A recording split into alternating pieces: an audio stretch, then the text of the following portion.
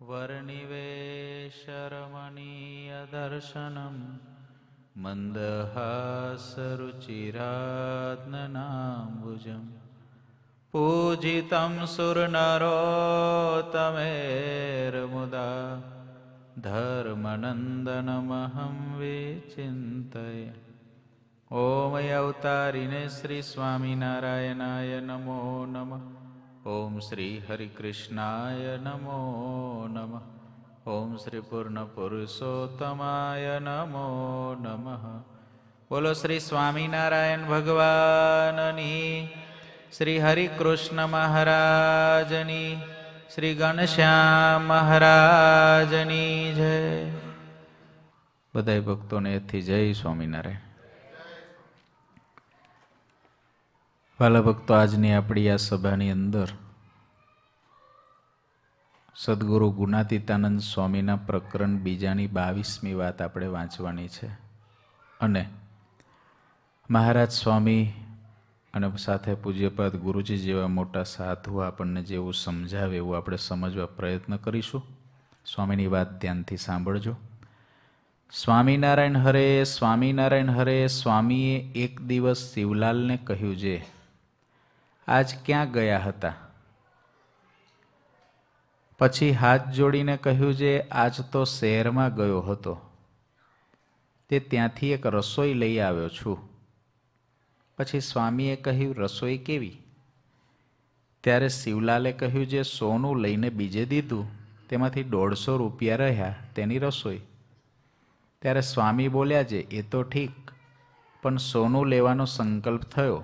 પણ કોઈ દિવસ સો કરોડમાં ઢૂંસા લઈને કમાણી કરીએ એવો સંકલ્પ થાય છે? ત્યારે કહ્યું છે, ના, મહારાજ. ત્યારે સ્વામી બોલ્યા જે મોટા સાધુની સમજણમાં તો મહારાજની મૂર્તિ વિના પ્રકૃતિ પુરુષ સુધી તો ઢૂંસા જ છે. પણ તેમાં કાંઈ માલ જણાતો નથી. અને તમે એટલી ઘડી આવા સાધુના દર્શન અને વાતો મૂકીને સી કમાણી કરી? એમ કહીને બુદ્ધિનો ડોળ ટાળી નાખ્યો. આટલી જ વાત છે. જુનાગઢ શિવલાલ શેઠ ગયેલા સ્વામીનો સમાગમ કરવા, સ્વામીની કથા વાર્તા સાંભળવા. પછી વચ્ચે જ્યારે સમાગમ કરવાની અંદર સમય મળે ને, ત્યારે થોડુંક એક આમ જુનાગઢની બજારમાં નીકળે. એમાં એક વખત જુનાગઢની બજારમાં નીકળ્યા તે મૂળ આમ તો વેપારી જાત જમીનનો લેવેચ કરવાવાળો નીકળે ને અમેરિકા આવ્યો હોય ને, ગાડીમાં બેઠો હોય ને, આમને અનુભવ છે. અમારા એક ભાઈ ઇન્ડિયાથી આવ્યા હતા. પછી અમેરિકા આવ્યા, ગાડીની અંદર જતા હતા. હવે તો છ મહિનાના વિઝિટર વિઝા પર હતા. પણ આપણે જે રસ્તેથી ગયા, એ રસ્તાઓમાં કેટલી જગ્યાએ જમીન વેચાવા મૂકી હતી, એ એમને ઠેકથી ઠેક સુધી યાદ હતું. કારણ કે એ જમીનની લેવેચ કરવાનો એનો ધંધો હતો. એમ આ જાતના વેપારી એટલે રૂપિયો ક્યાંથી મળે એવો થોડો વિચાર તો રહેતો હોય. એમાં જુનાગઢમાં ગયા, કોઈક જગ્યાએથી સોનું ખરીદ્યું. અને રસ્તામાં જ ચાલતા ચાલતા પાછું બીજે સોનું વેચી દીધું. એમાંથી કેટલા રૂપિયા મળ્યા? દોઢસો રૂપિયા. કરોડોપતિના આસામી. દોઢસો રૂપિયાની કોઈ ગણતરી શિવલાલ શેઠને નહોતી. દોઢસો રૂપિયાની નજરમાંય નહોતા. દોઢસો રૂપિયાની માટે કશી જ કિંમત એની હતી નહીં. શિવલાલ શેઠે એવું વિચાર્યું કે આ સોનું મેં લઈ અને બીજે વેચ્યું દોઢસો રૂપિયા આવ્યા, હાલો ઠાકોરજીને સંતોની રસોઈ થશે. એનો અર્થ એવો નહોતો કે એને એવી જ રીતે રૂપિયા કમાઈને રસોઈ દેવી હતી. એ તો સહેજે નીકળ્યા હતા. સહેજે સોનું ખરીદ્યું, સહેજે વેચ્યું, સહેજે દોઢસો રૂપિયા આવ્યા સહેજે સંકલ્પ કર્યો કે દોઢસો ની દોઢસો ની મહારાજને રસોઈ આપી છે, સાધુને રસોઈ આપી છે. કારણ દોઢસો રૂપિયામાં એમને તો કાંઈ થવાનું નહોતું. એ તો નવલખા શેઠ હતા. તો એમને આ વિચાર્યું, એ ખોટું વિચાર્યું કે સાચું વિચાર્યું? બોલો. સાચું. વિચાર તો સાચો છે. દોઢસોમાંથી એકે રૂપિયો કાપ્યો નહીં. પહેલાં પહેલું. એમ ના કર્યું કે દસ ટકા, પંદર રૂપિયાની રસોઈ આપો. એમ ના કર્યું. એવું ના કર્યું કે પંચોતેરની રસોઈ આપો ને પંચોતેર ઘરમાં લઈ લો. એવું ના કર્યું. કારણ કે નવ લખા શેઠ હતા. દોઢસો એ દોઢસો ભગવાનને સંતની રસોઈ આપવા અર્પણ કરવાનું નક્કી કર્યું. આ સંકલ્પ તો સાચો હતો. ગુણાતીતાનંદ સ્વામી બેઠા હતા, ત્યાં આવીને દોઢસો રૂપિયા મૂક્યા. એને એમ કે, સ્વામી, રાજી થઈ જશે. આમે રસોઈ આવે તો અમે તો રાજી જ થઈએ ને. શું કરવા કુરાજી થવું કોઈ રસોઈ જમાડવાવાળું મળે તો? રાજી જ થઈએ. સ્વામી આગળ દોઢસો રૂપિયા મૂક્યા એટલે સ્વામી કે, આ શું કર્યું શિવલાલ?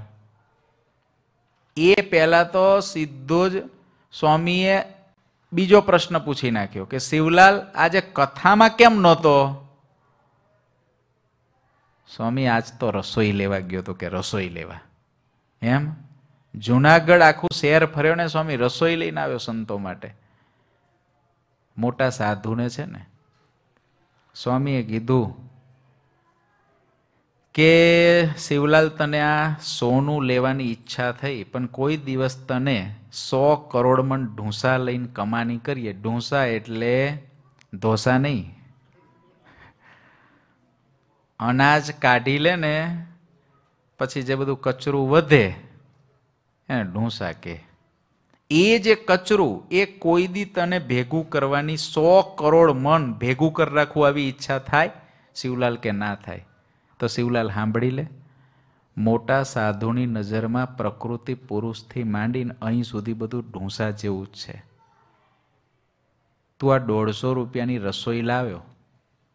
એના કરતાં સ્વામીની વાત જો સમજો મોટા સાધુની સમજણમાં તો મહારાજની મૂર્તિ વિના પ્રકૃતિ પુરુષ સુધી ઢૂંસા જ છે. પણ તેમાં કાંઈ માલ જનાતો નથી. તમે એટલી ઘડી સ્વામીને બળતરા કઈ થઈ છે? દોઢસોની રસોઈ લાવ્યો છે એ એનો પર્પઝ સાચો છે? દોઢસો રૂપિયા દીધા એ એનો આશય સાચો છે?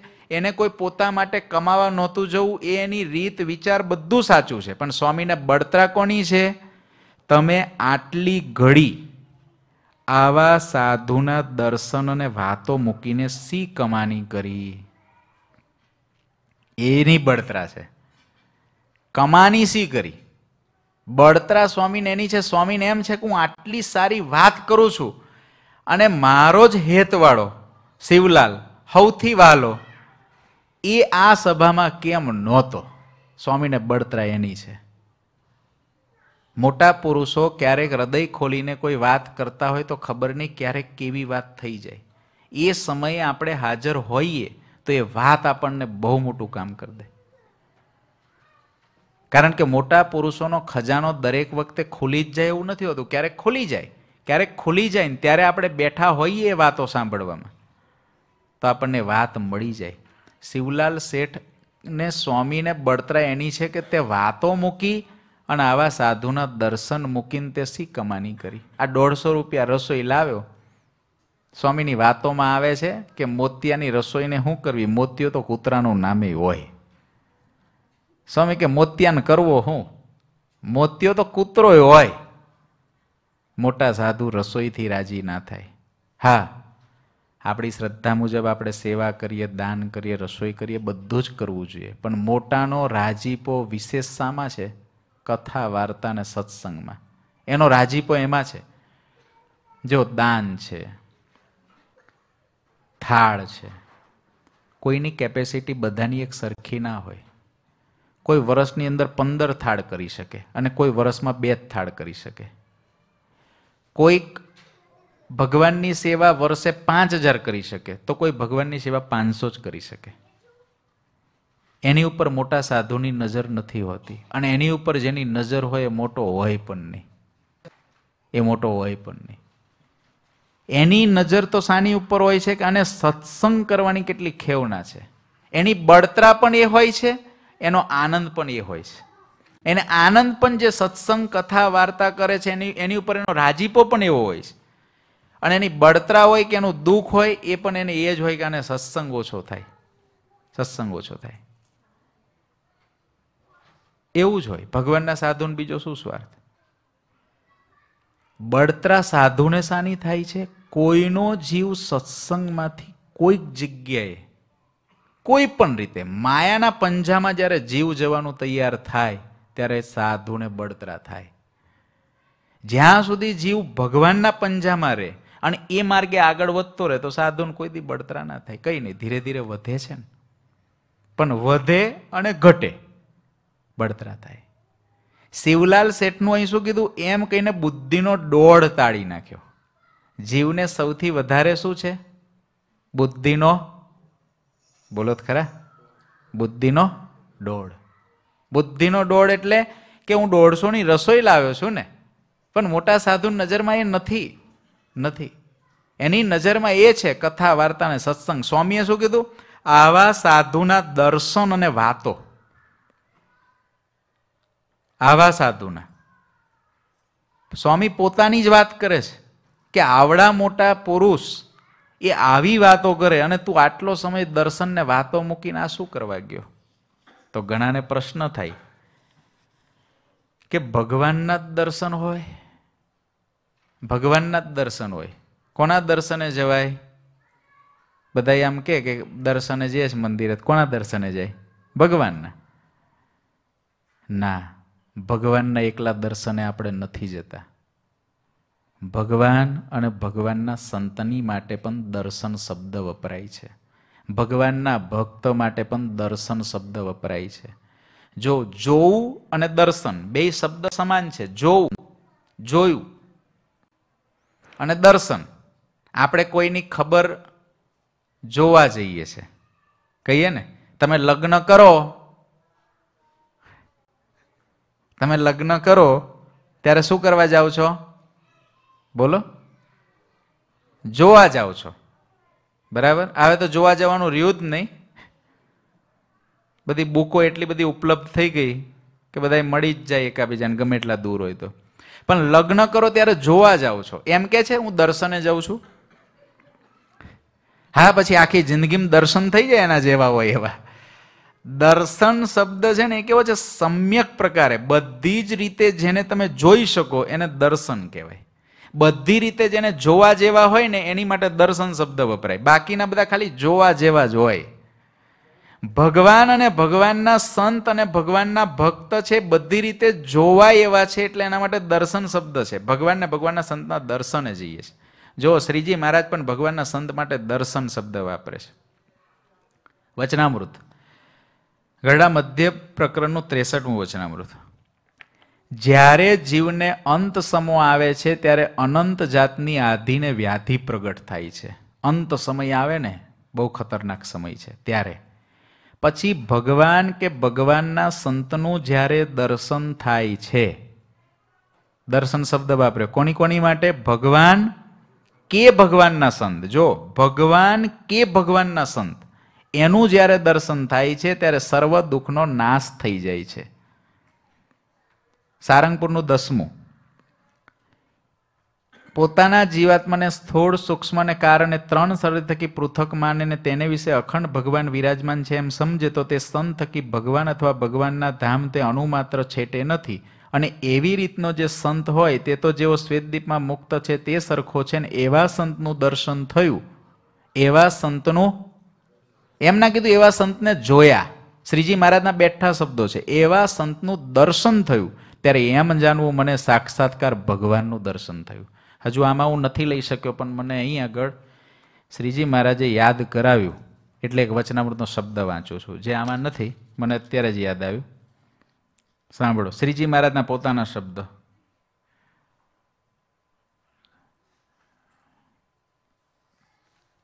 હા. એકાંત ઠેકાનું ગરડા અંત્યનું તેરમું વચનામૃત. એકાંત ઠેકાનું હોય ત્યાં અતિશય ગમે છે ને એમ જાણીએ છીએ જે એકાંતમાં બેસીને ભગવાનનું ધ્યાન કરીએ તો સારું. આવી ભગવાનની રુચિ છે. એવી સદાય રુચિ રહે છે. જ્યારે અમને રામાનંદ સ્વામીનું દર્શન નહોતું થયું. શ્રીજી મહારાજે રામાનંદ સ્વામી માટે કયો શબ્દ વાપર્યો? એમના કીધું, અમે રામાનંદ સ્વામી જોયા નથી એમ. જ્યારે અમને રામાનંદ સ્વામીનું દર્શન નહોતું થયું ત્યારે મુક્તાનંદ સ્વામી સંગાથે અમે ઠરાવ કરી રાખ્યો હતો કે મને રામાનંદ સ્વામીના દર્શન કરાવો. ભગવાન અને ભગવાનના મોટા સાધુના દર્શન હોય. બહુ ભાગ્યશાળી આત્માઓ હોય, એને ભગવાન અને ભગવાનના સાધુના દર્શન મળે છે. દર્શન. એને જોવાના નથી. એના દર્શન કરવાના છે. સ્વામીએ બુદ્ધિનો ડોળ બે રીતે ટાળ્યો. આવા સાધુના દર્શન મૂકીને અને આવા સાધુની વાતો મૂકીને. સૌથી પહેલા દર્શનને વિચારીએ આપણે.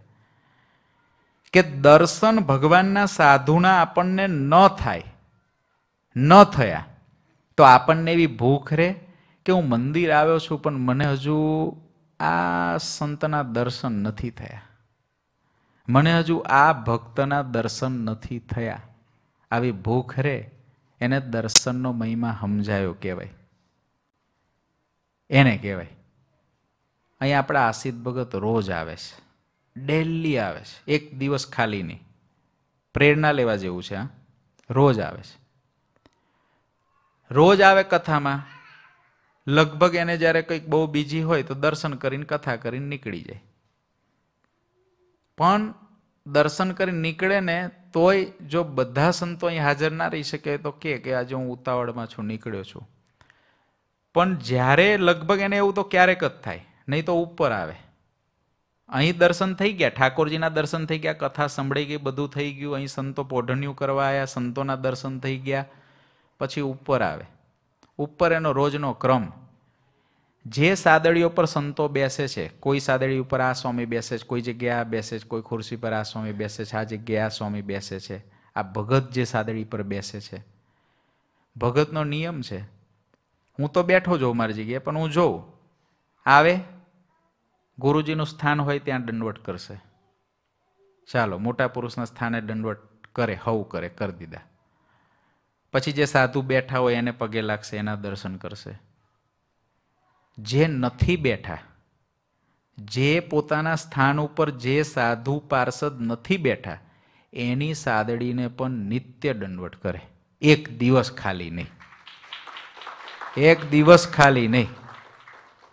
આને દર્શન કહેવાય. હું એવું નથી કહેતો કે સાધુનો, કે કંઈ એવું નથી કહેતો કે ઉપર તમે સાદડીઓને દંડવટ કરો. એમ નથી કહેતો. હું શું સમજાવવા માગું છું કે દર્શન એ એટલી મોટી વાત છે તમને ખબર હોય તો સંતો જ્યારે એકાબીજાથી દૂર જતા હોય એક રાત માટે, તો એકાબીજાને દંડવટ કરે છે. તમે જે નજીક રહેલાને ખબર હશે. સંતો એકાબીજાને દંડવટ કરે. પગે લાગે, ભેટે. પાછા બહારથી આવે ત્યારે દર્શન કરે. કારણ શું છે? સંતો છે તો એકાબીજાને દર્શન કરીને ભેટે. રાત્રે સૂતા હોય ને, તો સૂતા પહેલાં સંતો બધાય આપણા પૂજ્ય ઋષિ સ્વામી છે. એને એવો નિયમ સાધુ કોઈ પથારીમાં નથી સૂતા, પણ જે સ્વામીની પથારી છે ને, પથારીએ જઈને પગે લાગી લે. પથારી જે દિશામાં હોય, એ દિશામાં પથારીને પગે લાગીને પછી હોઈ જાય. છ, અહીં સાત સાધુ રહે, તો એ સાતમા નંબરના હોય, છ જેટલા રહ્યા બાકીના પાર્ષદથી માંડીને બીજા સાધુ, એની પથારીએ પગે લાગીને દર્શન કરે. રાત્રે સૂતા પહેલાં. કે રાત્રે જો આપણા પ્રાણ પંખેડું ઉડી જાય, તો આપણે રાત્રે પણ સાધુના દર્શન કરેલા હોય. દર્શનનો બહુ મોટો મહિમા છે. એટલે પ્રત્યેક યુવાનો, પ્રત્યેક હરિભગતે એવો નિયમ રાખવો કે તમે મંદિરમાં આવો, તમે વહેલા આવ્યા છો, ભગવાનના દર્શન કરો, તરત સાધુના દર્શન કરી આવો, સંત નિવાસમાં જેટલા સાધુ બેઠા છે બધાના દર્શન કરી આવો. સ્વામીની એક વાત છે. ગુણાતીતાનંદ સ્વામી એક વખત ઠાકોરજી જમાડતા હતા. બપોરનો સમય હતો ને સ્વામી ભંડારમાં ઠાકોરજી જમાડતા હતા. સ્વામી મૂર્તિને હંભારીને ઠાકોરજી જમાડતા હતા. દરબાર અભેસિંહજી અને ઉપલેટાના લાલાભાઈ, બહુ સમર્થ હરિભગત હતા લાલાભાઈ સ્વામીના સમાગમથી. એ લાલાભાઈ અને બંને હરિભક્તો જાળીમાંથી સ્વામીના દર્શન કરતા હતા. જોતા નહોતા. સમજાય છે શું કરતા હતા?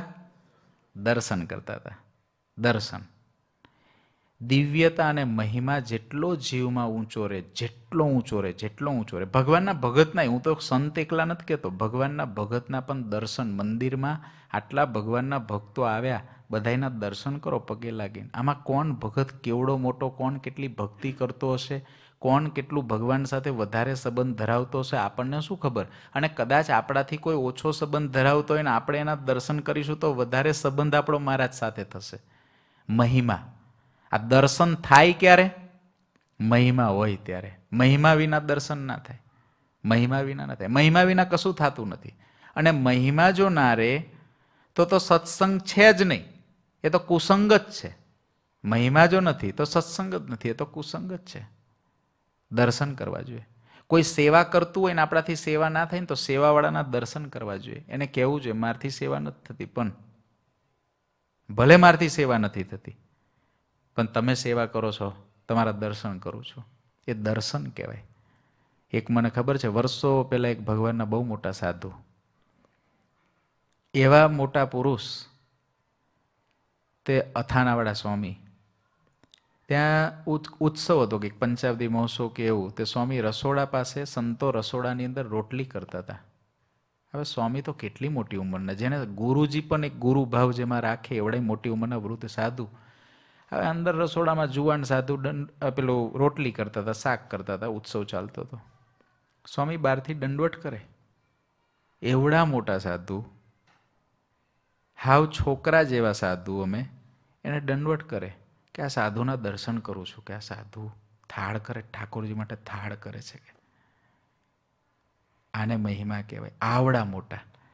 આપણી અંદર ધૂળ જેટલોય માલ ના હોય અને આપણે જો મહિમાનું સ્તર નહીં વધારીએ, આપણે જો ભગવાનના સંતો અને ભક્તો આમાં જો થશે મહિમાનું સ્તર, તો જ આમાં થશે. બાકી આ સોનાના સિંહાસનમાં બેઠેલામાં કોઈ દી ના થાય. જેને આના દર્શનનો મહિમા જાગશે, એને એનો જાગશે. બાકી આમાં કોઈને ડાયરેક્ટ જાગ્યો નથી. જેને એવી તલબ જાગી અને સ્વામીના દર્શન કર્યા. ઠાકોરજી જમાડતા હતા, સ્વામીના દર્શન કર્યા. તે લાલાભાઈને સ્વામીની હારે મહારાજ જમતા હોય ને એવા અદ્ભુત દર્શન થયા. સાંભળજો આવે દિવ્ય દર્શનથી લાલાભાઈના નેત્રમાંથી જળ વહેવા લાગ્યા. ઓહો આ સાધુ ભેગા ભગવાન જમે છે. કેવડા મોટા સાધુ. જળ વહેવા લાગ્યા. એમને દરબાર અભેસીને કહ્યું, દરબાર જુઓ તો ખરા, સ્વામી એકલા જમતા નથી, હારે મહારાજ જમે છે. સ્વામી એકલા નથી જમતા. હારે કોણ જમે છે? મહારાજ જમે છે. દરબાર અભેસી પણ ભારે સુપાત્ર ભક્ત હતા. પરંતુ જેવા દિવ્ય દર્શન લાલાભાઈને થયા, એવા દરબારને ન થયા. સાચું હું? બોલો. અભેસીને એવા દર્શન ના થયા. એ સુપાત્ર હતા. અને લાલાભાઈને એવા દિવ્ય દર્શન થયા. તો બંનેમાંથી સાચું કોણ? બંનેમાંથી સાચા કોણ? કોનું માનીએ આપણે? જેવું આપણને દેખાય એનું માનીએ. લાલાભાઈનું જો દેખાય, તો આપણે લાલાભાઈની વાત સાચી માનીએ. અને અભેસીની વાત દેખાય, તો અભેસીની માનીએ. ત્યારે લાલા, જો પણ દરબારને સ્વામીમાં ભારે દિવ્ય બુદ્ધિ હતી, એટલે એમને કહ્યું, લાલાભાઈ, તમે ભાગ્યશાળી છો કે તમને આવી દિવ્ય દ્રષ્ટિ મળી? અમે હજુ એને પાત્ર થયા નથી લાગતા. પણ અભેશીએ એવું ના કીધું, હું ગબગોડા છોડો છો. હું કરવા ખોટો ખોટો મહિમા ગાઉં છો? એમ ના કીધું. એમ કીધું, અમે હજુ એવા પાત્ર થયા નથી. અમે હજુ પાત્ર નથી થયા કે તમારા જેવા દર્શન થાય. હું સ્વામીનો શિષ્ય છું, પણ મને ના થયા. બંને ભક્તો અહોભાવથી સ્વામીને જમતા નિરખી રહ્યા, પછી મંદિરમાં જઈને બેઠા. એટલામાં જાળિયાથી સામત ભગત આવ્યા. સ્વામીના દર્શને આવ્યા. તે લાલાભાઈએ સામત ભગતને કહ્યું, ભગત જાઓ, દર્શન કરો. આજે તો સ્વામીની આરે મહારાજ જમે છે. જાઓ કે દર્શન કરો. તો સામત ભગત લાલાભાઈના કહેવાથી ભંડારમાં સ્વામી જમતા હતા, ત્યાં ગયા. જાડીએ રહીને જોવા લાગ્યા. તે સામત ભગતને સ્વામી જમે છે, આવું દેખાયું. એટલે એ પછી સામત ભગત બોલ્યા, લાલાભાઈ, મને સ્વામી જમતો એવું દેખાય છે. મારા જ દેખાતા નથી. લાલાભાઈએ કહ્યું, તમને ભલે ન દેખાય, મને દેખાય છે એનું શું? તમને ભલે ના દેખાય, પણ મને દેખાય એનું શું? બંને ભક્તોનો સંવાદ સાંભળીને થોડે દૂર જમી રહેલા સ્વામી મંદ મંદ હસવા લાગ્યા અને સ્વામીને મનમાં થયું, દ્રષ્ટિ દ્રષ્ટિમાં કેટલો ભેદ છે. એકને સ્વામી ભેગા મહારાજ જમતા દેખાયા. એની અનુભૂતિ પાક્કી છે અને બેને ના દેખાયા. પણ એ બે એટલા સુપાત્ર કે એમને પોતાનો અભાવ લીધો કે અમારી પાત્રતા નથી, પણ સ્વામીનો ના લીધો ને લાલાભાઈનો ના લીધો. નહીં તો જાજા ભાગના થાય શું? અભાવ કોનો લે? લાલાભાઈ જેવાનો લે. કે અમને દેખાતું નથી ને પાછા બીજા પાંચને ભેગા કરે કુપાતરને. તને દેખાય છે? એને તો વળી સાધુય ના દેખાય, એને કંઈક બીજું જ દેખાય. એ ના દેખાય. તો પાંચ કુપાત્ર ભેગા થાય તો ઓલા બે સુપાત્ર હોય, એ કુપાત્ર થઈ જાય. દર્શન શબ્દ બહુ ઊંચો છે. બહુ ઊંચો છે. ભગવાન, ભગવાનના સંત, ભગવાનના ભક્ત એના દર્શન કરવા, દર્શન. સ્વામી કે આવા દર્શન મૂકીને શિવલાલ, તમે તમારા જીવનું શું સારું કર્યું? એમ થાય છે. માટે દર્શન કરવા. બીજું, એવા મોટા સાધુ છે, એની અહીં આગળ સ્વામી વાતોમાં કે છે, આવા મોટા સાધુની વાતો મૂકીને સી કમાની કરી? એક દર્શન અને બીજું બોલો? વાતો. વાતો. એક શબ્દ પણ પડવા ના દે. મોટા સાધુ વાત કરતા હોય એનો એક શબ્દ પડવા ના દે. એને મોટા સાધુનો મહિમા જાણ્યો કહેવાય. ખબર નહીં કયા સમયે કેવી વાત થઈ જાય. કારણ કે મોટાનું એવું હોય છે, ક્યારેક અંતર ખુલી જાય. અંતર ખુલી જાય તો ભરપૂર ઠાલવી દે. ભરપૂર ઠાલવી દે. અને તેથી ઠાલવી દે ને તેથી તમે અભરે ભરાઈ જઈએ ઊન તમે. પણ આપણે એવા સમયે હાજર જ ના હોય તો? અને કેટલું જ્ઞાન એવું હોય કે જે ખૂણામાં ઠલવાઈ જતું હોય, જાહેરમાં ન પણ ઠલવાતું હોય. આ ગુણાતીતાનંદ સ્વામીની વાતો એ કેટલીક સભા મંડપમાં ઠલવાઈ છે અને કેટલીક ખૂણામાં શ્રીજી મહારાજે સર્વોપરિતાની વાતો પાઈ છે, એ ખૂન્યું જ્ઞાન છે. ઓપન સિક્રેટ હોય. ક્યારેક ઠાલવી દીધું, ત્યારે આપણી હાજરી હતી, કામ કેવડું મોટું થઈ જાય. પણ એ ટાઈમે આપણી હાજરી ના હોય અને આપણે વિચારીએ કે કંઈ નહીં, કથા જ્યારે થતી હોય સભામાં, ત્યારે બેહવાનું. બાકી સામાન્ય વાત થતી હોય તો હવે સ્વામી સભામાં વાત કરવાના છે ને સાધુ આવીને, બીજું શું કરવાના છે? પણ કયા સમયે કઈ વાત, કયા સમયે કઈ દવા, અને એમાંય પર્સનલી આપણી માટે વાત થતી હોય, કેટલું મોટું કામ થઈ જાય? પણ એ મહિમા સમજાય, ત્યારે થાય. સ્વામી કે આવા સાધુના દર્શન અને વાતો મૂકી તે તારા જીવમાં શી કમાની કરી? કથા વાર્તા કેવી છે? અંત્યનું ચોવીસમું વચનામૃત. જો કથા વાર્તા માટે શ્રીજી મહારાજે જે જે વચનામૃત કીધા છે, થોડાક હું વાંચું છું. મહારાજ કે છે, જીવનું જે કલ્યાણ થવું, મધ્યનું બત્રીસમું. જીવનું જે કલ્યાણ થાય અને જીવ માયાને તરીને બ્રહ્મ સ્વરૂપ થાય, તેનું કારણ તો પુરુષોત્તમ એવા જે વાસુદેવ ભગવાન તેના પ્રત્યેક સ્વરૂપનું જ્ઞાન, ધ્યાન, કીર્તન ને કથાદિક એ જ છે. એને કરીને જ જીવ માયાને તરે છે.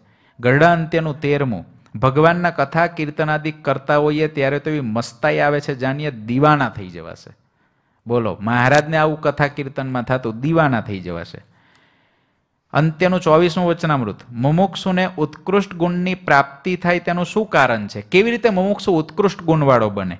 તો કે ભગવાનની કથા વાર્તા સાંભળ્યામાં જેને જેટલી પ્રીતિ, તેને તેટલો જગતનો અભાવ થાય અને કામ ક્રોધ લોભાધિક દોષનો નાશ થાય. અને જો કથા વાર્તામાં જેને આળસ હોય તેની કોરની એમ અટકળ કરવી છે, એમાં મોટા ગુણ નહીં આવે. કથા વાર્તાની જેને આળસ હોય ને, એમાં કોઈ દી મોટા ગુણ ના આવે. આલ્યો જાય. એ આલ્યો જાય સત્સંગની અંદર. જ્યાં સુધી નભાવો, ત્યાં સુધી નભ્યો જાય. એના સ્વભાવ હતો. પણ જો એને કોક જગ્યાએ પેલો સાપ હોય ને હુવાડો બહુ લાગે. એકદમ સુવાળો હોય. ક્યારેક હાથમાં આવે તો પકડજો. એકદમ સુવાળો હોય. પણ એ સાપને જો પૂંછડીએ દબાવો ને, તો ખબર પડે કે આ હુવાળો કેટલો છે. એમ કથા વાર્તા વિના સત્સંગમાં જે નભ્યા જાય ને, એ હુવાળા હોય, પણ જો પૂંછડી અડી ગયો કોઈ ભૂલથી, તો ડંખ મારી દે. અને કથા વાર્તા જેને હોય ને, એની છે ને ઝેરની દાઢો પડી ગઈ હોય. એની ઝેરની દાઢો ના હોય, એટલે ડંખ ના મારે. ડંખ ના વાગે. આપણે બધાને ડંખ વિનાના થવાનું. જન્મો જન્મની ઝેરની દાઢો લઈને આપણે સત્સંગમાં આવેલા છે. આ કથા વાર્તા શું કરે છે? આપણી દાઢોને કાઢે છે. એ દાઢો નીકળે તો ઝેર નીકળશે ઝેર નીકળશે તો અમૃત જશે. અમૃત જશે તો જન્મો જન્મનો ઝેરી બની ગયેલો આત્માની આજુબાજુનું પણ અમૃતમય બનશે. અને તો એ ભગવાનને વરવા લાયક બનશે, નહીં તો કેમ બનશે? એમાં મોટા ગુણ નહીં આવે. અમારે તો ભગવાનની કથા, કીર્તન કે વાર્તા કે ભગવાનનું ધ્યાન એમાંથી કોઈ કાળે મનની તૃપ્તિ થતી જ નથી. માટે તમારે પણ સર્વેને એવી રીતે કરવું. કોઈ દાડો મહારાજ કે તૃપ્તિ થતી નથી. એમ નહીં કે ઓહો, કલાક કથા સાંભળી લીધી. હવે કેટલી સાંભળીએ કેટલા ભક્તો એવા છે? આપણા યોગેશ ભગત છે. તમે જુઓ, આટલી સેવા હોય પણ જેવા પરવારે સીધા ઉપર કથા વાર્તામાં બેહી જાય. આજે તો આવ્યા, એને થોડી દોડા દોડી હતી, કામ કરો મેં કીધું, ઠાકોરજી જમાડ લો ભગત પહેલા. ત્યાર નીચે જમાડવા ગયા. અજયભાઈ બેઠા હતા ને તમે. આ બધી પ્રત્યક્ષની જ વાતો છે. પરોક્ષની ક્યાં કરવી? પરોક્ષની ક્યાં? પ્રત્યક્ષની જ વાતો છે. કે એક ઘડી પણ સંતોની કથા વાર્તાને છોડે નહીં. કારણ કે બહુ દુર્લભ છે. ભગવાનની વાતો મળવી બહુ દુર્લભ છે. ભલે એકની એક હોય, એકની એક હોય. ક્રિકેટ એકની એક જ હોય છે. ગેમ એકની એક જ હોય છે. રમવાની જોવાની કેવી મજા પડે છે? બ્રિજેશ ભગત, મજા પડે ને? એમાં કોઈ દી કંટાળો આવે, કોઈ દી થાક લાગે, કોઈ દી ઉત્સાહ રહિત થવાય. આઠ વાગે સવાર જવાનું હોય તોય બેટ લઈને જવાય. પણ જો કથા સાંભળવાની હોય, સત્સંગ કરવાનો હોય, ભજન કરવાનું હોય, તો જીવને ત્યાં આગળ આળસ આવે, ત્યાં પ્રમાદ થાય, ત્યાં આગળ કંટાળો આવે, ત્યાં આગળ મસ્તાઈ ના ચડે, ત્યાં દીવાના ના થવાય. એનું કારણ એ છે કે એને જેવો જોઈએ એવો કથા વાર્તાનો પાક્કો મહિમા નથી સમજાયો. એને જેવો જોઈએ એવો ભગવાનના સંત અને ભક્તના દર્શનનો પાક્કો મહિમા નથી સમજાયો. જો પાક્કો મહિમા સમજાય, તો તો ઓહો, એની ભૂખ જાગેલી રહે. જેને એવો પ્રસંગ છે કથા વાર્તાનો એનું એવું જ હોય છે. અને ભગવાનના મોટા સાધુની કથા મળવી, એ તો બહુ મોટી વાત છે. એક કેશવ ભગત હતા, જુનાગઢની અંદર. તે ભગત એવા આખો દિવસ શિક્ષાપત્રીનો પાઠ કરે. આખો દિવસ શિક્ષાપત્રીનો પાઠ કરે. આ ખોટું કરતા હતા ખાચું. ખોટું હતું કે સાચું હતું? શિક્ષાપત્રી આખો દી વાંચવી એ ગુનો છે? સારું જ કામ કહેવાય ને. આજ્ઞા મહારાજની વાંચો, મહારાજની આજ્ઞાને ઉતારો તમે પાડી શકો. આખો દિવસ શિક્ષાપત્રી વાંચે. અને ગુણાદિતાનંદ સ્વામી જૂનાગઢમાં વાતો કરતા હોય. પણ કેશવ ભગત કોઈ દિવસ શિક્ષાપત્રીનો પાઠ છોડીને વાતો સાંભળવા જાય નહીં. એને બસ, મારે તો શિક્ષાપત્રી મદરૂપમ ઇતિ મદવાની મારી વાણી એ મારું સ્વરૂપ છે. શિક્ષાપત્રી એટલે કોણ? ભગવાન સ્વામિનારાયણ સ્વયં. તો શિક્ષાપતિનો પાઠ કરો એટલે ભગવાન સ્વામિનારાયણના દર્શન તુલ્ય ફળ થાય. મહારાજે જેને આટલી બધી સરસ રીતે લખી એ શિક્ષાપત્રીને પાઠ જ કર્યા કરે બેઠા બેઠા. બસ પાઠ જ કરવા છે. એટલે કેશવ ભગતને એક વયોવૃદ્ધ રામાનુજાનંદ સ્વામી હતા એ સ્વામી આ જોયું ને એટલે સ્વામી ઊભા થઈને કેશવ ભગત પાસે આવ્યા અને બાવડું ઝાલીને પોતાની હિન્દુસ્તાની ભાષામાં કહેવા લાગ્યા બેટી કા બાપ तुम यहाँ पाठ करते हो उधर तेरा बाप कैसी बातें करता है पाठ को छोड़ो और उनको सुनो ऐसी बातें बाद में नहीं मिलेगी फिर पछताएगा હિન્દુસ્તાની ભાષામાં કીધું આ. હિન્દુસ્તાની સાધુ હતા. મહારાજ વખતે આ બહુ વેરાયટી હતી બધી અલગ અલગ. એટલે સંતો બોલે ને એમાં જ બહુ મજા આવે. એટલા બધા પ્રાંત પ્રાંતના ભેગા થાય, એ બોલે. એટલે બધા હસે પછી ભેગા થઈને. કેશવ ભગતને થયું રામાનુજાનંદ સ્વામીએ મને સાવધાન, પછી રામાનુજાનંદ સ્વામીની વાત સાંભળીને કેશવ ભગત એકદમ ઊભા થયા. શિક્ષાપત્ર એક બાજુ પર રાખીને સ્વામીની વાતો સાંભળવા બેસી ગયા. આટલો તો વિવેક રાખ્યો. નહીં તો પાછા હામે ગોળી પાઈ દે. હું શું ખોટું કરું છું? હું શિક્ષાપતિનો પાઠ જ કરું છું ને. ભાઈ, તો પાઠ કરે છે, પણ પાઠ કરવાથી સમજણ ના આવે. વચનામૃતનો પાઠ કરો એટલે વચનામૃતની સમજણ ના આવી જાય. સ્વામીની વાતોનો પાઠ કરો તો સ્વામીની વાતોની સમજણ ના આવી જાય. ઘણા ના કે હું વચનાવત વાંચું છું, મને સમજાઈ જાય છે. ઘણાને પૂછો, કોઈ પ્રશ્ન ખરો? કોઈ પ્રશ્ન જ નહીં. વચનાવત વાંચો વાંચું છું સ્વામીની વાતો વાંચું છું કોઈ પ્રશ્ન કોઈ દી થાય જ નહીં, બધું સમજાઈ જાય છે. કારણ કે એની જાતે જ બંધ બેસતું બેહાડે. હવે એમાં હું સમજાવ્યું હું નહીં, એ જાણે ભગવાન જાણે. શાસ્ત્ર એમ કે છે, સત્પુરુષ થકી શાસ્ત્રને સાંભળવું. નહીં તો સદગ્રંથ પણ પોતાની બુદ્ધિ બળે સમજાતા નથી. કેશવ ભગત ગયા. કેશવ ભગતને થયું રામાનુજાનંદ સ્વામીએ જો મને સાવધાન ના કર્યો હોત ને, તો આવા મોટા લાભથી હું વંચિત રહી જાત. ઓહો, ગુણાતીતાનંદ સ્વામી બાજુમાં બેઠા વાતો કરતા હોત અને હું આ વાતોને સમજી ના શક્યો હોત. મોટા સાધુનો સમાગમ તો કેટલો દુર્લભ છે તમને ખબર? સુકાનંદ સ્વામી આખી વચનામૃતની આ પ્રતો છે ને, એ વચનામૃતની પ્રતોના ખરડાઓ સુકાનંદ સ્વામીએ લખ્યા. એ તો બહુ મોટા પુરુષો પણ એવા મોટાએ પોતાના ચરિત્ર દ્વારા સમજાવ્યું. ગોપાળાનંદ સ્વામી વાતો કરતા, સુકાનંદ સ્વામી જ્યારે વાતોને થોડી સાંભળતા, ત્યારે સ્વામી કે વચનામૃત મેં લખ્યા, ખરડાઓનું સંશોધન એ વખતે મેં કર્યું, બધુંય થયું. પણ કેટલીક વાતો તો મને ગોપાળન સ્વામી આજ વાતો કરે ને જ્યારે સાંભળું છું ને ત્યારે સમજાય છે. હવે જો એવા મોટા મોટા અક્ષરધામના મુક્તો એમ કહે કે મને આ વાત અત્યારે સમજાય છે, આ વાત, હવે આપણે આજના, આજકાલના જન્મેલા બધાય અને આમ બે પાન ફેરવીએ અને ઓહો, આ તો ખબર પડી ગઈ, આ તો ખબર પડી ગઈ, આ તો પડતી હશે એમ. કોઈ દી ના પડે. એવડા મોટા હોય એવું કે મેં સંશોધન કર્યું છે તો મને હજુ આજે સમજાય છે, જે ગોપાળન સ્વામી જેવા છે એ એવું કે છે કે હજુ મને પૂરું નથી ઉકલતું આ બધું. હજુ મને નથી સમજાતું, મહારાજ આ કે છે. હું સમજુ છું, મહારાજ આવું કે છે, પણ આ તો બહુ અઘાત છે. આને તો શ્રીજી મહારાજ બરાબર જાણે છે. હવે આપણે થોડાક બે પાન વાંચીએ. આપણે કે, હા, મને ખબર પડી ગઈ. મને ખ્યાલ આવી ગયો. કોઈ પ્રશ્ન ખરો? કોઈ પ્રશ્ન જ નહીં. બાકી ખરેખર કેવું હોવું જોઈએ, ખબર છે? હરિભક્તોને? કે તમે કથા વાર્તા રોજ સાંભળતા હોય તો બરાબર છે, પણ તમે કંઈક રોજ વાંચતા હો ને એ તમે અઠવાડિયે આવો ને ત્યારે કંઈક પ્રશ્ન લઈને આવેલા હો સ્વામીની વાત આ વાંચી છે, વચનામૃત આ વાંચ્યું છે, આ ગ્રંથ આ વાંચ્યો, કીર્તન આ વાંચ્યું, એનો આ અર્થ નથી સમજાતો. આ જગ્યાએ વચનામૃત વાંચ્યું, પણ આમાં કન્ફ્યુઝન થાય છે. સ્વામીની વાતમાં થાય, આ તો કોઈને કોઈ પ્રશ્ન જ ના થાય. એનો અર્થ એ છે કે કાં સંપૂર્ણ જ્ઞાની હોય, જેને પ્રશ્ન જ ના થાય, બે હોય જે સંપૂર્ણ જ્ઞાની હોય એને એક પ્રશ્ન ના થાય. અને બીજો? સંપૂર્ણ અજ્ઞાની હોય એને ના થાય. મધ્યમ હોય ને બધાને થાય. કે આ કેમ આવું કીધું હશે? આ કેમ કીધું છે આ કેમ કીધું છે એવો થાય. માટે થોડું વાંચન રાખવું, થોડું વિચારવું, થોડું જિજ્ઞાસા વૃત્તિ રાખવી. ભગવાનને ભગવાનના સાધુ પાસે આવીએ ત્યારે પહેલો પ્રશ્ન પૂછીએ, આ વાત થોડીક પાંચ મિનિટ મને સમજાવો. આ વાત મને નથી સમજાઈ, મેં વાંચી. આ તમે વાત કરતા હતા પણ મને નહોતી સમજાઈ. તો આ મને હજુ ફરી સમજાવો. આવું પૂછવું. એ પૂછવાથી જ્ઞાનની વૃદ્ધિ થાય. કેશવ ભગતને થયું રામાનુજાનંદ સ્વામીએ મને સાવધાન ન કર્યો હોત તો હું કેટલા મોટા લાભથી વંચિત રહી જાત. આ બાજુ રામાનંદ રામાનુજાનંદ સ્વામીને એવું થયું કે મારાથી આજે એક સારા ભગતને ઠપકો અપાઈ ગયો. એટલે રામાનુજાનંદ સ્વામીને અંતરમાં થોડું દુઃખ થયું. અને કેશવ ભગતની માફી માગી અને રાજી કરવા જોઈએ આવું વિચાર્યું એમને કેશવ ભગતને માફી માગીને મારે રાજી કરવા જોઈએ. કેવા હતા તમે વિચારો? હું ખોટું કીધું. પણ પેલું કીધું ને કે બેટી કા બાપ, તેરા બાપ વહાં બાતે કરતા, યહાં ક્યાં કરતા? એમ જેલું કઠણ ભાષામાં કહી દીધું ને? એટલે સ્વામીને થયું મેં વાત તો હિત નહીં કીધી, પણ કઠણ કહી દીધી. કેવો મહિમા હશે? મારે માફી માગવી જોઈએ. વૃદ્ધતા. સ્વામીને આસને કોઈ હરિભક્ત ચાર કેરી મૂકી ગયું હતું. એ લઈને સ્વામી કેશવ ભગત પાસે આવ્યા અને બોલ્યા, કેશવ, મેને તેરે કુ વઢ્યા, તો લે આ કેરી ઓર રાજી રહેના. એની હિન્દુસ્તાની ભાષામાં બોલ્યા કે કેશવ મેને તેરી કો વઢ્યા, તો લે એ કેરી ઓર રાજી રહેના.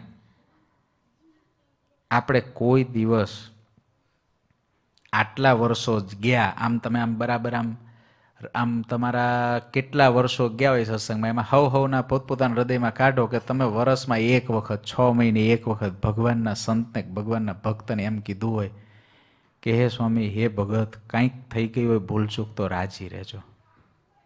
લિસ્ટ કાઢો, હું મારું તમે તમારું. રાજી રહેજો આ. જીવ છીએ, કંઈક થઈ જાય. રાજી રહેજો. આવું કેવું? છ મહિને એકવાર તો કેવું. બાર મહિને એકવાર તો નવા વર્ષે તો કેવું. નવા વર્ષે તો કેવું કે કંઈક ભૂલચૂક થાય તો રાજી રહેજો. જીવ છીએ, થાય. એમ ભગવાનના સંતને ભગવાનના ભક્તોને પણ કેવું? કારણ કે આપણે બધા અરસપરસ રહીએ છીએ. એકાબીજાની ભૂલો થવાના ચાન્સીસ તમે નવા વર્ષે અહીં સંતો એકાબીજાને દંડવટ કરતા હોય, પછી ભેટતા હોય, પછી એકાબીજાના આમ કહેતા હોય, એ શું કહે છે? એકાબીજાને દંડવટ નવા વર્ષે શાના કરે છે? સંતો સંતોના તમે દર્શન કરી લીધા, પણ એ શું છે ભાવના? એના બેઝમાં શું સમાયેલું છે? એના બેઝમાં એ સમાયેલું છે કે આખા વર્ષ દરમિયાન મન, કર્મ, વચને ભેગા રહીએ છે. ક્યારેક કોઈક જગ્યાએ કોઈ અભાવ, અવગુણ આવ્યો હોય, કોઈક જગ્યાએ સૂક્ષ્મ દ્રોહ થઈ જતો હોય, તો મા બાપ રાજી રહેજો. એમ સંતો એકાબીજાને બધાય પ્રાર્થના કરે છે. હરિભક્તોને પ્રાર્થના કરે છે. એ બધું શીખવાનું છે. એમાંથી જ મહિમાનું લેવલ ઊંચું લઈ જવાનું છે. આ સત્સંગમાં એમ નહીં સીધા હાલ્યા જઈએ જ બધા હાલ્યા ગયા. એટલામાં પતિ નથી જતું. આવીને જતા રહીએ એટલામાં પતિ નથી જતું. આવું કરતાં શીખવું જોઈએ. અને જે રોજ સેવાઓ કરે છે, રોજ નજીકથી કરે છે, એને બહુ ધ્યાન રાખવું પડે. કારણ કે એને વધારે વધારે પ્રોબ્લેમ થાય. એને વધારે વધારે થાય. એને એવું કહેતા રહેવું. આ સ્વામી પાસેથી શીખવા જેવું આ બધું કોને થાય? મહિમાનું લેવલ હોય એને, જેને ચારનો રાખ્યો હોય એને કશું ના થાય, એને ખબર ના પડે. આ કથા વાર્તા સાંભળીએ તો ખબર પડે કે આવું કેવું જોઈએ. રસોડા રસોડામાં સેવા કરતા હોય, બહેનો એકાબીજા સાથે. કોઈ બીજી જગ્યાએ સ્ત્રી ભક્તો સેવા કરતા હોય, ક્યાંક યુવાનો યુવાનો સેવા કરતા હોય, ક્યાંક વડીલો વડીલો સેવા કરતા હોય. છ મહિને, બાર મહિને, એક વખત તો કેવું રાજી રહેજો. જીવ છીએ. તમે તો બહુ મોટા છો. પણ અમારાથી ક્યારેક કંઈક વર્તાઈ ગયું હોય, બોલાઈ ગયું હોય. તમને કાંઈ કઠણ શબ્દ કહેવાય કે હોય? રાજી રહેજો. બે હાથ જોડીને રાજી રહેજો આટલો શબ્દ છે ને કથા વાર્તાથી આવડે. નહીં તો શું ખબર? જોઈ લઈશ.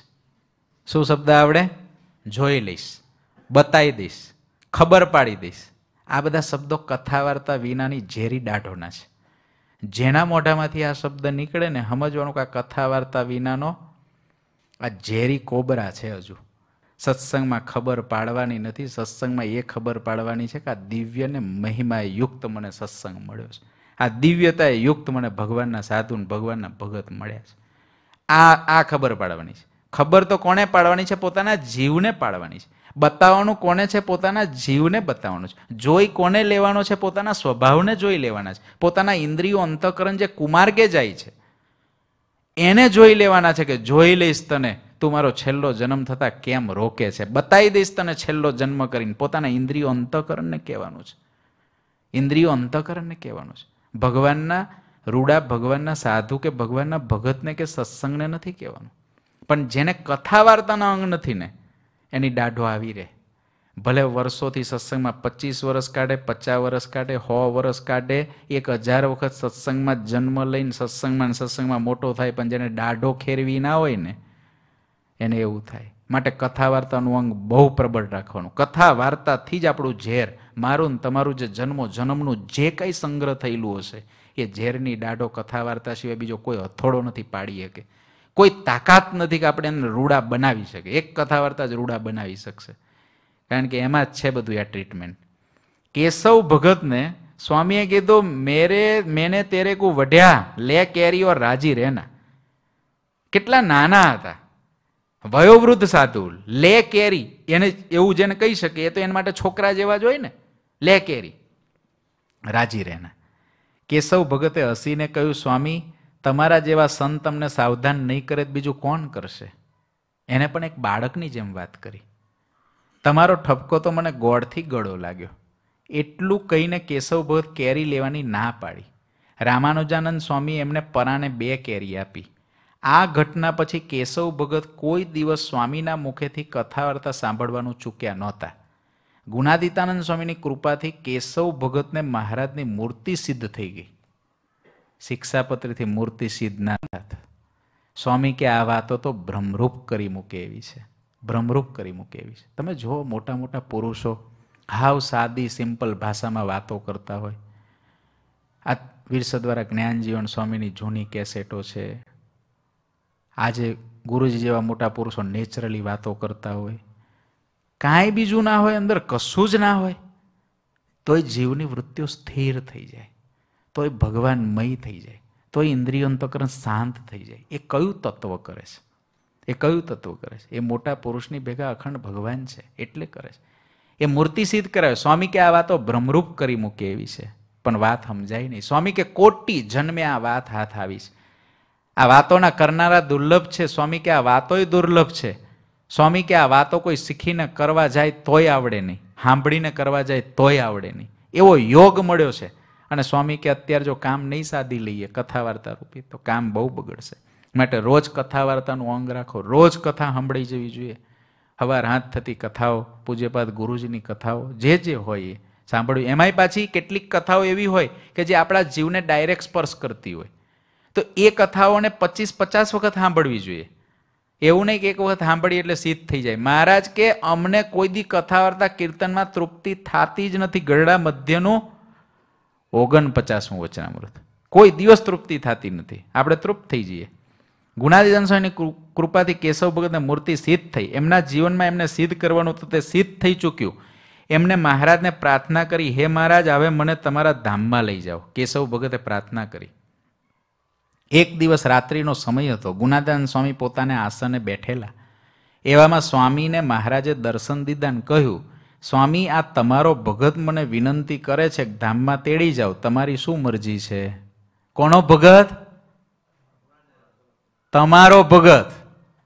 તે શ્રીજી મહારાજે ગુણાતીતાનંદ સ્વામીનો ભગત એને પોતાનો ભગત માની લીધો ને, કે તમારો ભગત મને એવી પ્રાર્થના કરે છે કે મને ધામમાં લઈ જાઓ. તો હું લઈ જાઉં, તમારી મરજી કેવી છે? આ મહારાજને મોટાનો સંબંધ. આને જીવ કેમ કડી શકે? કેવી રીતે કડી શકે? આ મહિમાને દિવ્યતાની વાત. આને જીવ કેમ સમજી શકે? પૂજ્ય યોગી સ્વામીના અંતિમ વિધિ ઉપર પૂજ્યપાદ ગુરુજીએ કરેલી વાતને એક વખત સાંભળી લેજો. અંતિમ વિધિના દર્શન ના કર્યા હોય તો કરી લેજો. અને એ સમયે જે ગુરુજીએ શબ્દો કીધા છે એને પણ ધ્યાનથી સાંભળજો. બે પાંચ વખત સાંભળજો. ખ્યાલ આવશે. કે મહારાજને મોટાનો સંબંધ કેવો હોય છે? કેવો હોય છે? કેવા સમયે કેવી રીતે ક્યાં કેવું કાર્ય થતું હોય છે? તમારો આ ભગત પ્રાર્થના કરે, તમારી શું મરજી છે? સ્વામીએ કહ્યું, મહારાજ, કેશવ ભગતે આખી જિંદગી ખૂબ સેવા કરી છે. એમને જે સિદ્ધ કરવાનું હતું તે કરી લીધું છે. માટે હવે આપણે જેમ યોગ્ય લાગે તેમ કરો.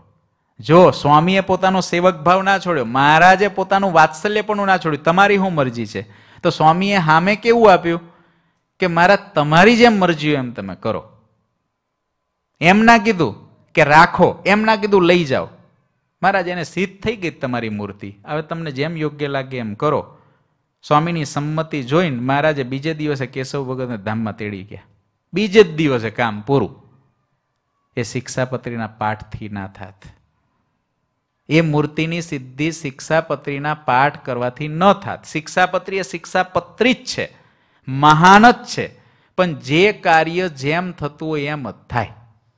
જે કાર્ય જેમ થતું હોય એમ થાય. એ મૂર્તિ સિદ્ધ કરવા માટેનું શ્રીજી મહારાજે કથા, વાર્તા, સત્સંગ, મોટા સાધુનો યોગ આ જ રાખ્યો છે. આ જ સંગ રાખ્યો છે અને એ કરવાનું છે. એટલે શિવલાલ શેઠ દોઢસો રૂપિયાની રસોઈ લાવ્યા ને એના કરતાં મોટામાં મોટું શું હતું? કે શિવલાલ શેઠને જે પેલું દોઢસો રૂપિયા લઈ આવ્યા અને એના કારણે શિવલાલ શેઠને એમ થયું કે બહુ મોટું કામ થયું. સ્વામી કે, ના, આવા મોટા સાધુના દર્શનને વાતો મૂકીને સી કમાની કરી? સી કમાની કરી? સ્વામી વખતે એક એક જણ દસ હજાર રૂપિયા રાધારમન દેવ આગળ મૂકીને જતો રહ્યો. એ જમાનામાં દસ હજાર. સ્વામી દસ હજાર જોઈને રાજી ના થયા. સ્વામી કે આને આ દસ હજાર મૂક્યા, પણ આટલાનો બાજરો લઈને જો અહીં મંદિરમાં રહીને અમારો સમાગમ કર્યો હોત ને, તો એનું કારણ શરીર બળી જાત. કારણ શરીર બળી જાત. એટલે બધું જ કરો. મંદિરમાં આવો ત્યારે સેવાની જરૂર હોય સેવા કરવાની. જ્યાં જ્યાં આપણી જરૂરિયાત હોય એ બધી કરવાની. પણ સૌથી વિશેષ વજન કથા, વાર્તા, ભજન, ભક્તિ એની ઉપર રાખવાનો. કારણ કે ઓલું બધું છે ને, એ બધુંય જો આ બેઝમાં રહીને થતું હશે તો રહેશે. નહીં તો એક દિવસ. આપણી દાઢ ખરેલી ના હોય, એટલે ઓલી જે સેવા છે કોઈ દાઢ ના ખેરવી શકે. એ દાઢ ના ખેરવી શકે. આજ ઠીક છે કે કોઈ વાર કોઈ એવી સેવા આવી હોય કરવી પડે. કોઈ વાર કોઈ ગટર ઉભરાય છે તો ગટર સાફ કરવા જવું પડે. કથા વાર્તા ચાલતી હોય તોય એક વખત થાય, બે વખત થાય, ત્રણસો ને પાસઠ દિવસ એવું ન થાય. ત્રણસો ને પાસઠ દિવસ તો કથા વાર્તાનો જેને જોગ, મહારાજ કે એમાં જ રૂડા ગુણ આવશે, અટકળ એવી કરવી, બાકી પેલા પાસે તો આશા જ ના રાખવી.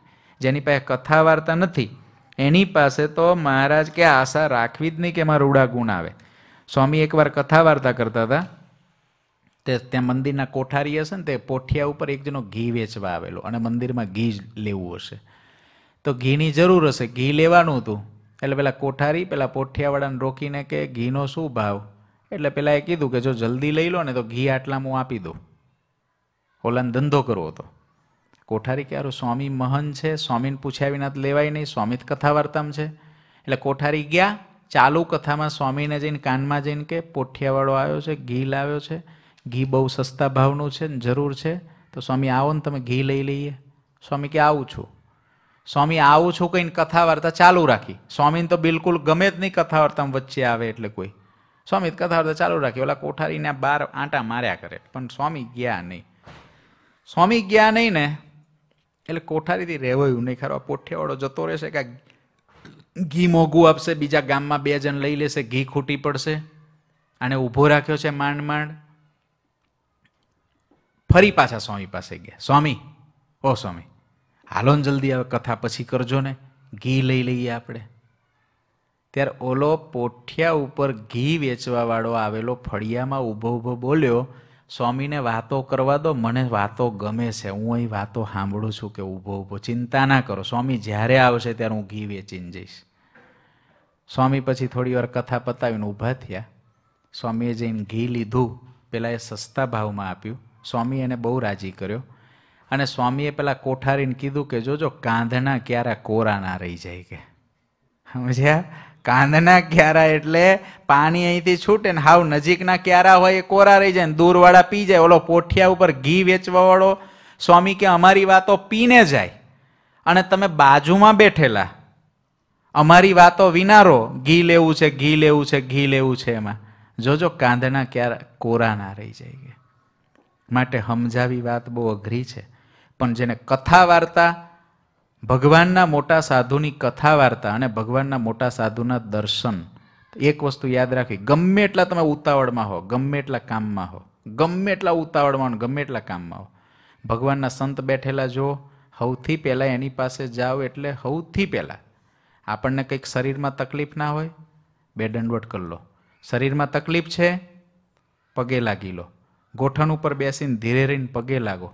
પગે લાગવા અને દર્શન કરવાની પણ રીત છે. કોઈ ઇમિગ્રેશન વાળાને ત્યાં જઈએ કે આપણે અમેરિકાની એમ્બેસીમાં જઈએ, તો ફાઇલ આપવાની હોય એને. તો આમે અપાય. આમ તમે ફાઇલ? આમે અપાય. ફાઇલ જ આપીને. ફાઇલ જ આપીને. લે, એમ આપે? સાહેબ, કેમ? કેમ સાહેબ આમ પ્રેમથી? પાસપોર્ટ આપવાનો છે ઇમિગ્રેશન ઓફિસરને જોઈ લે. આપી જ દીધો ને પાસપોર્ટ. કેટલું પ્રેમ, કેમ ત્યાં આવી જાય છે? કેમ એક સરખું નથી લાગતું ત્યાં? કારણ કે ત્યાં એની સત્તાનો સ્વીકાર છે. ત્યાં એની સત્તાનો સંપૂર્ણ સ્વીકાર છે. એટલે ત્યાં આગળ આપણને કોઈને શીખવાડવું ના પડે કે આવી રીતે કરવું. ત્યાં આગળ કોઈ સિસ્ટમ શીખવાડવી ના પડે કારણ કે ત્યાં આગળ ઓટોમેટિક જીવને સામેવાળાની સત્તાનો સ્વીકાર હોય છે. એની મોટપની એને ખબર હોય છે. જ્યારે આપણને ઠાકોરજી સિંહાસનમાં બેઠા હોય તો એની મોટપની વાસ્તવિક ખબર નથી હોતી. આપણે શું, કોઈ જગ્યાએ કોઈ જગ્યાએ આપણે ઇમિગ્રેશનની લાઇનમાં ઊભા હોય છે, ગમે ત્યાં ઊભા છે, કેટલી શાંતિ, એક ટાંકણી પડે તો અવાજ આવે, ટાંકણી પડે તો અવાજ આવે. પણ ઠાકોરજી સામે એવું રહે છે? રહે આપણને કોઈ? નથી રહેતું. કેમ નથી રહેતું? કારણ કે આપણને એની સત્તાનો સંપૂર્ણ સ્વીકાર નથી. એ કથા, વાર્તા કેટલા અથોડા વાગે આપણને અમે કરીએ ને તમે સાંભળો ને હું મને મારું ને તમે તમને મારો ને ત્યારે આપણી અંદર એ થોડીક સેન્સ આવે કે ભગવાન બેઠા છે એટલે એની મર્યાદા આટલી આટલી હોય. આટલી આટલી મર્યાદા હોય. કોઈને અમેરિકાની કોન્સ્યુલેટમાં કહેવું ના પડે ફોન ઓફ રાખજો. કહેવું ના પડે. પણ મંદિરમાં કહેવું પડે કથા વાર્તા ચાલે છે, થોડું સેલ ફોન ઓફ રાખો ને. કથા વાર્તા શરૂ થાય તો કહેવું પડે, અવાજ બહુ થાય છે, થોડું બંધ કરો ને. પણ એરપોર્ટ ઉપર કોઈ ના કેવું પડે? લાઈન પાડો, આ કરો, બધું ઓટોમેટિક એનો એ જ જીવ છે, કેમ આવડી ગયો? કારણ કે ત્યાં સત્તાનો સ્વીકાર થયેલો છે. અહીં આગળ સત્તાનો સ્વીકાર એટલો નથી, એટલે તો કથા વાર્તા છે. જીવને બધું સરખું જ લાગે છે કે આમ પગે લાગો, આમ બેસો, આમ કરો, આમ ચાલો, આમ જમો બે શ્લોક બોલો તોય શું, ના બોલો તોય શું, માનસી હરખી કરો તોય શું, ના કરો તોય શું, આંખ બંધ કરી દીધી તોય શું ખુલ્લી રાખી તોય શું, આવું જીવને જે અજ્ઞાન છે, એ અજ્ઞાનને ટાળવા જ કથા વાર્તા છે. એ અજ્ઞાનને ટાળવા માટે જ બુદ્ધિનો ડોળ સ્વામી કે ટાળી નાખ્યો. એ બુદ્ધિનો ડોળ શું આ જ કે જે બધું જ આપણને સમાન લાગે, એને બુદ્ધિનો ડોળ કહેવાય. આપણે આપણી બુદ્ધિથી વિચારીએ કે આ વસ્તુ આમ છે, એને બુદ્ધિનો ડોળ કહેવાય. પણ બુદ્ધિનો દોડ મૂક્યો કોને કહેવાય? કે મને આ વસ્તુ નથી સમજાય એવી. આ વસ્તુને મારે આમ સમજવાની છે. એને બુદ્ધિનો ડોળ મૂક્યો કહેવાય. એ શિવલાલ શેઠને સ્વામીએ બુદ્ધિનો ડોળ મુકાવ્યો. નહીં તો જીવ જન્મો જન્મથી બુદ્ધિના ડોળથી જ ચાલતો આવ્યો છે. બુદ્ધિના ડોળથી જ ચાલતો. એને ક્યારેય પણ ભગવાન કે ભગવાનના સંતની વાત પોતાના આત્મા ઉપર વાસ્તવિક સ્વીકારી નથી. નથી સ્વીકારી અને બુદ્ધિનો દોડ નથી મૂક્યો. એટલે એમાં નિર્મળતા નથી આવતી. એમાં નિર્મળતા, એની અંદર જે સ્મૂથપણું, એની અંદર જે આમ રબરની જેમ જે વળી શકે, એવી નિર્મળતા ના આવે એની પાછળનું કારણ એ છે કે બુદ્ધિના દોડ સહિત જીવ સત્સંગ કરે છે. એટલે સ્વામી અહીં કહે છે કે બુદ્ધિનો દોડ મૂકીને ભગવાનના મોટા સાધુ, ભગવાનના ભક્ત, ભગવાનના સંત એના દર્શન અને એની વાતો, બે સાંભળવાની ભૂખ સતત રાખવી સતત રાખવી. અને એવી સતત રાખે ભૂખ ત્યારે એ કલ્યાણકારી થાય અને ત્યારે એના જીવનું કલ્યાણ સહેજે સહેજે થાય. મોક્ષના માર્ગે આગળ ને આગળ ચાલી શકે. એટલે અહીં સ્વામી આવી વાત કરી અને આવી રીતે શિવલાલની બુદ્ધિનો ડોળ ટાળી નાખ્યો. આપણા પણ બુદ્ધિના ડોળ જ્યાં જ્યાં હોય, ત્યાં આપણે ભગવાનના મોટા પુરુષ, એની કહેલી રોકટોક, એની કહેલી જે, એનો બતાવેલો જે માર્ગ, એ માર્ગે ચાલીને આપણા બુદ્ધિના ડોળને પણ, આપણી બુદ્ધિને પણ પાછળ મૂકી આ મોટા સાધુ જેમ કે છે, એ આપણા હિતમાં કહે છે, એવો વિચાર કરી ભગવાનના મોટા સાધુનો સમાગમ કરો, મોટા સાધુના દર્શન કરવા, જેટલો બને એટલો સમય આપણને ભગવાનના સંતની દર્શન અને વાતો મળે. તમે જે સેવા કરતા હોઈએ, પણ સેવાની સાથે બને એટલી ભગવાનના મોટા સાધુના દર્શન અને એની વાતો. આ કરવું જ. મંદિરમાં આવો એટલે સૌથી પહેલાં પહેલો એટલો ટાઈમ ફાળવી રાખો ભગવાનના દર્શન કર્યા, એનાથી એકલું તૃપ્ત ના થઈ જશો. ભગવાનના દર્શન કરીને તરત અહીં નીચે ગુરુજીનું સ્થાન હોય ત્યાં દર્શન કરો. ત્યાં ના કરો, ઉપર સંત નિવાસમાં હોય ત્યાં દર્શન કરો. ત્યાં આવીને એક નાનામાં નાના પાર્ષદ ભગત હોય ને, તો એના સૌથી પહેલાં દર્શન કરો. સૌથી પહેલાં એને પગે લાગીને જે સ્વામિનારાયણ કહો. પગે લાગીને નીચે બેસીને જે સ્વામિનારાયણ કહીને પછી તમારી સેવા જે કરતા હોય એમાં વળગો. પછી તમે જે કોઈ બીજામાં કરતા હો એ કરો. સ્ત્રી ભક્તો હોય એ દૂર રહીને ભગવાનના ભગવાનના સંતોના દૂર રહીને દર્શન કરે. ભગવાનના ભક્તો છે એ પુરુષો પુરુષોમાં. એકાબીજાને મંદિરમાં તમે આવ્યા હો તો એવું ના થાય કે તમે મંદિરમાંથી જતા રહો. અને આજે તમે જેટલા ભક્તો આવ્યા એને એકે વખત જેસમણ જ ના કર્યા હોય. એને પગે જ ના લાગ્યા હોય. એવું ના થવું પડે. એકાબીજાને જ્યારે આ વીકેન્ડમાં આપણે ભેગા થઈએ છીએ મહારાજ મોટા મોટા ઉત્સવ સમયા કરતા, મોટા મોટા સાધુઓને ભેગા કરતા, વસ્તા ખાચરને મહારાજ કે ચાલો વરતાલ સમયો કરવા. વસ્તા ખાચર કે મહારાજ આ મકાન કરવાના છે. હમણાં નહીં અવાય. પછી મકાન તો થયા નહીં, વરસાદ પડ્યો, બધા કરાઈ તૂટી ગયા. અને પછી વસ્તા ખાચરને જ્યારે મહારાજે પાછા વળ્યા ને ત્યારે વસ્તા ખાચરને મહારાજ કે, વસ્તા બાપુ, તમે આવ્યા નહીં મહારાજ? વરસાદ પડ્યો, મકાનય ના થયા? અને વરતાલ તમારા સમયમાં ના આવી શક્યો. મહારાજ કે લો વસ્તા બાપુ પાંચસો રૂપિયા આપું તમને. જેટલા સાધુ આવ્યા હતા ને, જેટલા હરિભક્તો આવ્યા હતા ને, બધાના દર્શન કરી આવો, જાઓ. અરે મહારાજ, પાંચસો રૂપિયા આપો તો એ કેટલા કેટલા દૂર દૂરથી ભારતના છેડે છેડેથી આવ્યા હોય, એટલાના દર્શન મહારાજ ક્યારે થાય? ત્યારે સ્વામીએ કીધું, ત્યારે મહારાજે કહ્યું વસ્તા બાપુ પાંચસો રૂપિયામાં તમે જેના દર્શન ના કરી શકો એટલા, એટલો સમય પણ ના બગાડવો પડે એક સાથે તમને આટલા સાધુના આટલા હરિભક્તોના દર્શન થાત. આ તમે કેટલો મોટો લાભ ચૂક્યા. કેટલો મોટો લાભ ચૂક્યા. ત્યારે વસ્તા બાપુને હવે વસ્તા બાપુ કે મારે મારા તમારા દર્શન થયા હરખું જ છે ને. ખરેખર તો ભગવાન મનુષ્ય આકારે પ્રત્યક્ષ મળ્યા હતા ને વસ્તા બાપુને તો મહારાજથી વધારે તો બીજાના કોઈ દર્શનની જરૂર નહીં હોય ને. તોય મહારાજે કીધું કે આ પાંચસો રૂપિયા લો ને બધાના કરી આવો દર્શન જાઓ. પણ આવા જે જે જગ્યાએ દર્શન થાય, ત્યાંથી દર્શન કરીને આપણે પણ એવા ભગવાનના મોટા સાધુ, એના દર્શન, એની વાતો, એની ભૂખ જગાડે જેટલી ભૂખ જગાડશું, એટલી આપણી બુદ્ધિ નિર્મળ થશે, એટલા મોક્ષના માર્ગે આપણને ચાલવાની શક્તિ વધશે. આવી સ્વામી આપણને એ રૂઢી વાત સમજાવે છે. મહારાજ, સદગુરુ ગુણાદિતાનંદ સ્વામીને પૂજ્યપાદ ગુરુજી જેવા મોટા સાધુ, મારીને તમારી બુદ્ધિનો ડોર ટાળે અને ભગવાનને, ભગવાનના મોટા સાધુના દર્શન અને વાતો માટેની ભૂખ ખૂબ જગાડે. આપણામાં દિવ્યતા, મહિમા, નિર્મળતા, વિવેક, વિનમ્રતા, આ બધું આવે એવી આપણે ભગવાન ગુરુજીના ચરણો પ્રાર્થના કરીને વિરમું છું. બોલો શ્રી ઘનશ્યામ મહારાજની જય. શ્રીપતિમ શ્રીધરમ સર્વદેવેશ્વરમ ભક્તિ ધર્માત વાસ